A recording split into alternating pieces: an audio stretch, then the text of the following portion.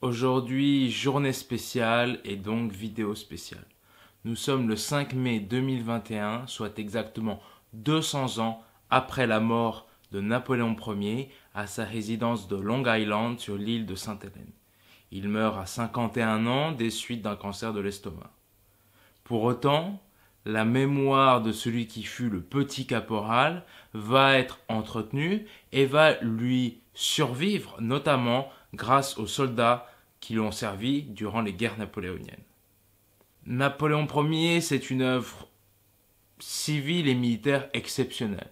Tout d'abord une œuvre civile, car c'est lui qui a permis la réalisation du Code civil, sur lequel se base encore notre droit français et le droit de nombreux pays. C'est également lui qui a fondé les lycées, les universités modernes, la Légion d'honneur, le réaménagement de Paris, et la création de nombreuses villes et ports en France, la création du consistoire de Paris qui intègre le judaïsme à la France. Bref, c'est lui qui a fondé la France et l'Europe moderne, notamment grâce à des concepts comme l'égalité de tous devant la loi, concepts qui vont se répandre dans toute l'Europe. Napoléon Ier était également un génie militaire dont les campagnes et les victoires sont encore enseigné dans les écoles d'aujourd'hui. Pour autant, nous avons pu constater que le climat politique ambiant particulièrement exécrable tente de réécrire Napoléon. Ainsi, il semble vraiment important de redonner à l'époque napoléonienne une lecture objective et dénuée de politisation. Moi, je suis persuadé que parler de Napoléon aujourd'hui est très important. Pour mieux comprendre notre histoire hexagonale et mieux comprendre d'où vient la France moderne, mais également pour mieux comprendre d'où vient l'Europe moderne. Et comprendre ce phénomène majeur de notre histoire commune est primordial. Ainsi, j'ai décidé avec des proches de monter un projet de documentaire intitulé Une jeunesse italienne, Napoléon à la conquête de l'Italie.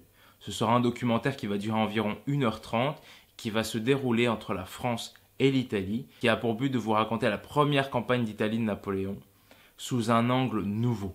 Que reste-t-il encore aujourd'hui de cette campagne? Que reste-t-il dans les mémoires? Que reste-t-il dans le paysage italien?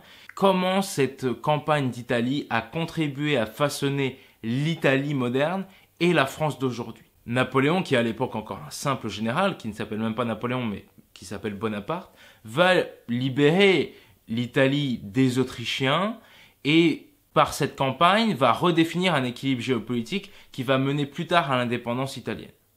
C'est également la campagne au cours de laquelle il se fait un nom et va devenir une menace progressivement pour le directoire, le régime révolutionnaire à l'époque en place, qui est très corrompu. Je propose qu'on réalise ce documentaire en 10 étapes, reprenant 10 lieux importants de la campagne d'Italie.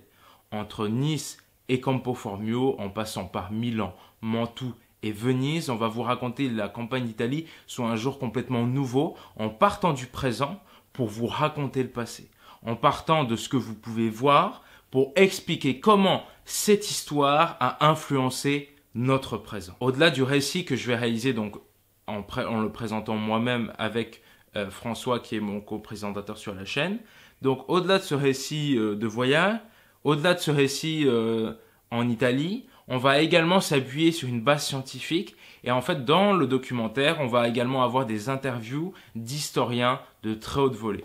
On a déjà validé la participation de Jacques-Olivier Boudon, de Walter Bruyère-Hostel, d'Alexandre Bourdon et encore d'autres historiens. On a également validé le soutien de l'association belge napoléonienne, du souvenir napoléonien Alpes-Maritimes, des invalides de Paris qui ont accepté que l'on vienne tourner, et même de la Villa Masséna à Nice qui est un lieu exceptionnel.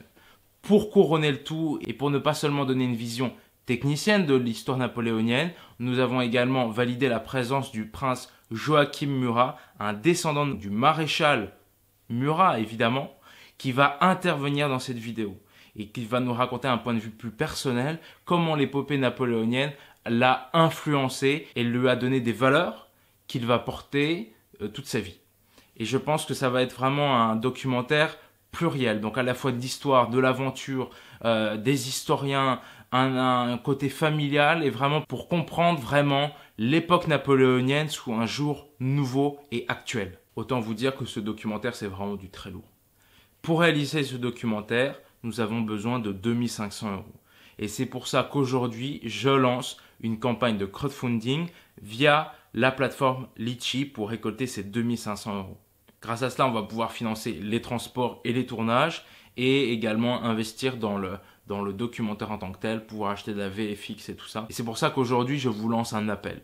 Je vous lance un appel parce que je sais que vous êtes des amateurs et des fans d'histoire et je vous lance un appel afin que nous défendions une vision de l'histoire qui ne soit pas politisée. Plus que jamais, nous devons démontrer à quel point l'histoire est importante pour comprendre notre présent et que nous devons la comprendre sans la juger avec nos yeux d'aujourd'hui. Ceci afin de l'expliquer à tout à chacun, car tout le monde mérite l'accès à la connaissance de notre passé. Je pense fondamentalement qu'un peuple qui connaît son histoire peut bâtir son avenir. Si vous croyez en ces valeurs, vous aussi, ben je vous demande de participer à ce litchi. Même si vous mettez 5 euros, c'est pas le montant qui compte, c'est le fait d'apporter votre énergie à ça. Si vous n'avez pas de moyens financiers, partagez-le, partagez cette vidéo et faites rayonner cette vision de l'histoire, celle qui n'est pas soumise aux idéologies. Ce projet le mérite et sera vraiment un résultat de grande qualité, quelque chose qui sera vraiment riche au niveau humain. Et vraiment, j'ai déjà réalisé des documentaires grâce à vous, grâce à une campagne de crowdfunding. C'était le documentaire Beau marché, l'audace d'être libre réalisé l'an passé. Et je pense qu'on peut rééditer le coup et faire encore mieux. Je compte sur vous. Le lien du Litchi est dans la description. Allez faire un don, soutenez-moi, faites-le rayonner. Et euh, grâce à vous, en fait, tout est possible. Ensemble, on peut vraiment faire quelque chose de bien. Évidemment, si vous voulez en savoir plus sur Napoléon, je vous invite à aller voir ma vidéo que j'avais réalisée il y a deux ans qui s'appelle Que devons-nous à Napoléon? Et je l'avais réalisée en featuring avec deux autres vidéastes du label Rodot. Allez, moi je vous dis à ce week-end pour une nouvelle vidéo. Et surtout, en attendant, portez-vous bien et soutenez le projet Une jeunesse italienne Napoléon à la conquête de l'Italie. Allez, ciao